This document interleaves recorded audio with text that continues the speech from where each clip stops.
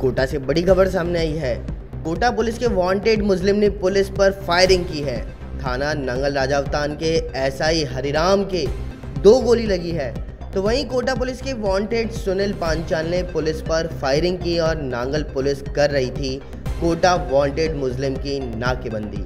साथ ही साथ नांगल पुलिस में नाकाबंदी के दौरान कोटा वांटेड मुस्लिम ने फायरिंग की है और मामला है थाना नांगल राजावतान के टिटोली टोल का।